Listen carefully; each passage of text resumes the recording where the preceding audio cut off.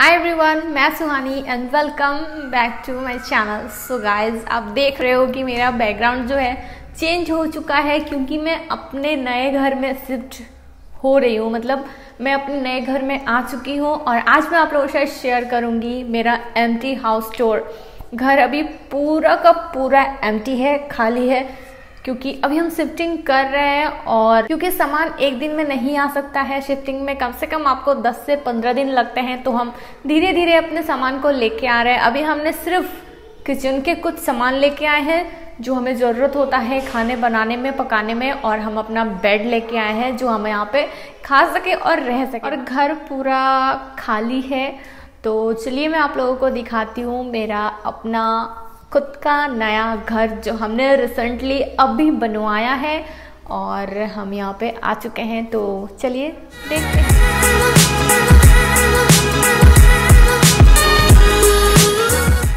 तो ये है मेन डोर जब आप मेन डोर से एंटर करते हो तो आपको यहाँ पे मिलता है हॉल रूम रूम बिल्कुल भी साफ़ नहीं है, गंदे है, सब कुछ ही गंदा है। हमें साफ़ सफ़ाई करने का बिल्कुल भी टाइम नहीं मिला है।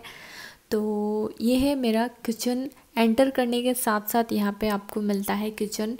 किचन जो है मैंने ओपन ही रखा है। मुझे हमेशा से शौक़ था कि मेरा किचन मेरे हॉल रूम के साथ अटैच हो। तो ये है मेन डोर और मेन डोर से राइट साइड में जो है वो किचन है। और यहाँ पे आप देख रहे हो कि कैसा हालत है। सब कुछ जो है बस हम यहाँ पे खाना बना रहे हैं और खा रहे हैं जैसे तैसे। तो हम लॉकडाउन की वजह से बिल्कुल भी कुछ कर नहीं पा रहे तो जितना हमने किया है, बस लॉकडाउन पीरियड में जो हमें कलर वलर मिला है, हम कलर ही करवाए हैं और टाइल्स का काम हुआ है और बाकी कुछ हुआ नहीं है। तो ये जो है, ये नीचे का फ्लोर है मतलब फ़र्स्ट फ्लोर है। तो ये डाइनिंग एरिया है और उसके साथ ही हम यहाँ पे इस जगह पे सोफ़ा रखने वाले हैं जो कि अभी आया नहीं है। पता नहीं कब सब कुछ अरेंज होगा तो आप प्लीज़ थोड़ा जो गंदगी है उसको आप इग्नोर करना और घर पे ध्यान देना। तो हॉल रूम से जो सटा हुआ जो है, पास में ही एक रूम है। तो ये जो है, ये छोटा सा छोटा सा नहीं मतलब अच्छा खासा एक कॉमन बेडरूम है। तो ये बेडरूम में पूरा सामान भरा हुआ है जो हम शिफ्टिंग कर रहे हैं। उसका पूरा सामान ला के रखा हुआ है पूरा नहीं है।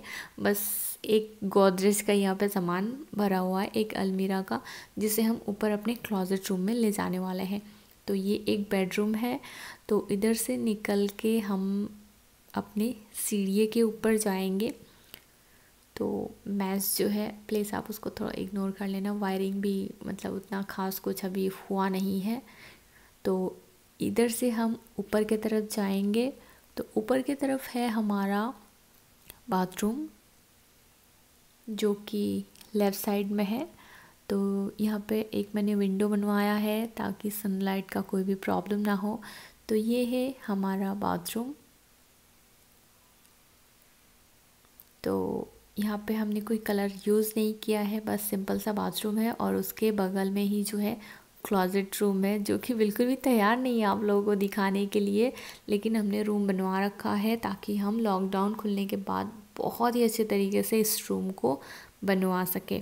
तो ये है क्लोज़ेट रूम क्लोज़ेट रूम से सीधे ही राइट साइड में मतलब उसके ऑपोजिट साइड ही है मेरा बेडरूम तो आप देख सकते हो क्लोज़ेट रूम से सीधे ही यहाँ पे मेरा बेडरूम है और यहाँ पे सिंपल आपको एक बेड मिलेगा। अभी फ़िलहाल कुछ भी नहीं है घर में, सिर्फ़ बेड है और किचन के सामान है। तो हमें बस कलर करवा सके और कुछ नहीं हो पाया। हम कुछ बनवा सके अपने घर को फर्निश करने के लिए तो ये सब नहीं हो पाया। सिर्फ़ सिंपल सा बेड है और ये जो वॉलपेपर है मैंने खुद किया था। तो ये बेडरूम है बहुत ही बड़ा, काफ़ी काफ़ी बड़ा एक मास्टर बेडरूम है और बेडरूम से जो है यहाँ पे बैल्कनी है। तो थोड़ा सा दरवाजे का जो गंदगी है उसको इग्नोर करना हमने अभी साफ़ सफ़ाई अच्छे से किया नहीं है। जब हम अच्छे से शिफ्ट हो जाएँगे उसके बाद एक एक करके सब कुछ आप सफ़ाई करेंगे। तो यहाँ से निकल के हमें छोटा सा एक बालकनी मिलता है। बालकनी भी बिल्कुल भी तैयार नहीं है। कुछ भी अच्छे से तैयार नहीं है, क्योंकि लॉकडाउन है, सब कुछ बंद है और हम कुछ भी नहीं कर सकते हैं।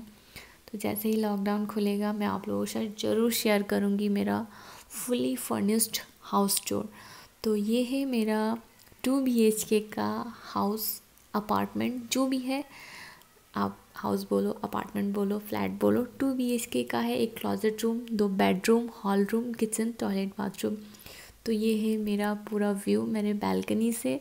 तो ये था मेरा हाउस टूर अगर आपको अच्छा लगा हो तो इस वीडियो को ज़रूर लाइक करें शेयर करें और चैनल को सब्सक्राइब नहीं किया तो चैनल को भी सब्सक्राइब कर लें।